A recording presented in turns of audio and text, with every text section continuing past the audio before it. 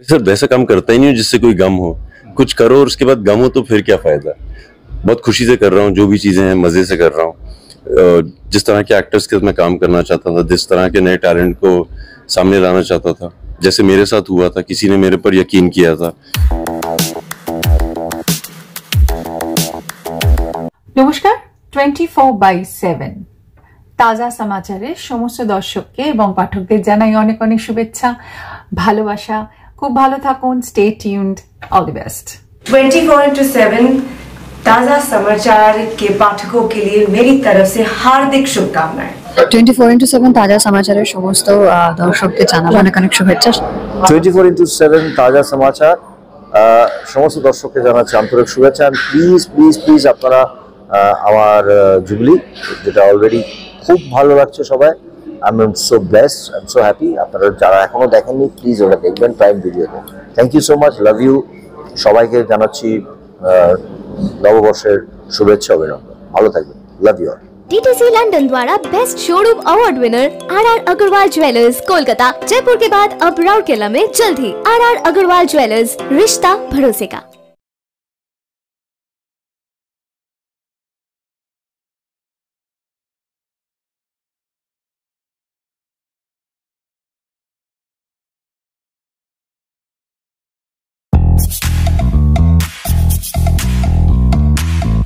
बॉलीवुड के सबसे बड़े एक्शन हीरो की अगर बात आती है तो सबसे पहला नाम आता है विद्युत जामवाल जी का।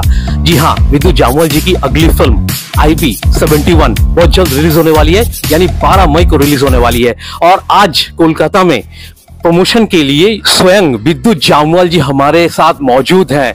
Sir ji very welcome to our channel twenty four ताज़ा समाचार। कैसे हैं सर आप? बहुत शुक्रिया, बहुत खुश हूँ और बहुत मज़े भी आ रहे हैं।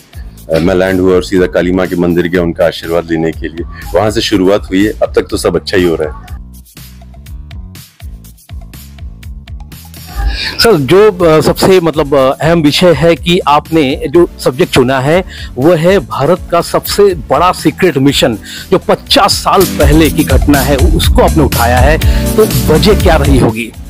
खुफिया विभाग पे इतनी फ़िल्में बनी नहीं है इंटेलिजेंस ब्यूरो आईबी जो है हमारा खुफिया विभाग। और हमेशा हम रॉ के बारे में जानते हैं कि ये मिशन हुआ वो मिशन हुआ।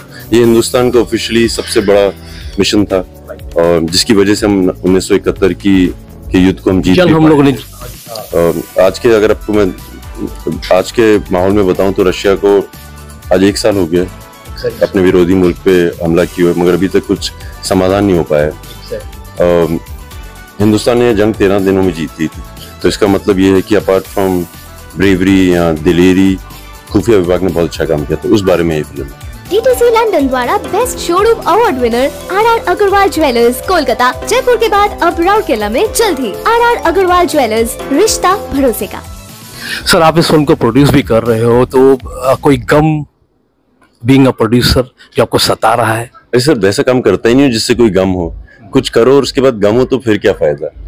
बहुत खुशी से कर रहा हूँ जो भी चीज़ें हैं मज़े से कर रहा हूँ। जिस तरह के एक्टर्स के मैं काम करना चाहता था जिस तरह के नए टैलेंट को सामने लाना चाहता था जैसे मेरे साथ हुआ था किसी ने मेरे पर यकीन किया था ऐसे मैंने तीस एजेंट इकट्ठे किए हैं जो नेशनल स्कूल ऑफ़ ड्रामा या डिफरेंट ड्रामा स्कूल से हैं और उनकी उनके ऑडिशन लिए और उनके साथ काम कर रहा हूँ। सर आगे चलकर आपने काफ़ी अन्वेषण भी किया होगा कुछ अगर आप खुलासा करें इस बारे में। क्या किया था? अन्वेषण भी किया था you did lot of research बहुत लोगों से मिला उससे पहले हमने जितने आर्टिकल्स थे, ज़्यादा थे नहीं। और एक New York Times Times of India इस तरह के न्यूज़पेपर में छोटे मोटे आर्टिकल थे। जो आर्टिकल्स थे उनके अलावा मैं लोगों से मिलना शुरू किया। मेरे फादर आर्मी में थे। जितनों से मिल सका, जितनी इंफॉर्मेशन निकाल सका काफ़ी काम किया। एक साल के करीब लगाया। दूसरा पहलू समझा जो दूसरा मुल्क है, उनके, उन्होंने भी कई किताबें लिखी हैं इस बारे में। उनके भी, दूसरे का जानना भी बहुत ज़रूरी है, एक पॉइंट ऑफ़ व्यू उन सब पे काम करने के बाद सारी सामग्री इकट्ठा की और बना दी। फ़िल्म सर अनुपम खेर को आपने लिंकअप किया है जो मतलब बड़ा एक विषय है और इस बारे में आप क्या कहना चाहोगे सर नहीं उनके साथ काम करने का एक अलग ही आनंद था क्योंकि वो एक इतने सुलझे हुए और मंझे हुए एक्टर हैं।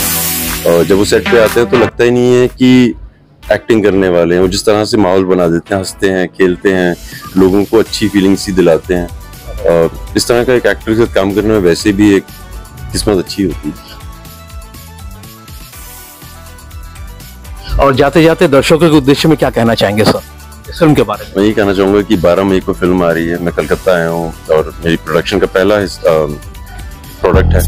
और मैं हमेशा सोचता था कि जहाँ से शुरुआत की है वहीं पे जाया जाए। कलकत्ता से शुरुआत की थी। मैं यहाँ पे पढ़ा हूँ। मेरे फादर आर्मी में थे। मैं फोर्ट फ़िल्म में रहा हूँ। सो मैं काली माँ के मंदिर आया दर्शन के लिए और यहाँ से शुरुआत की थी तो मैं बहुत खुश हूँ thank you sir lot of thanks to you sir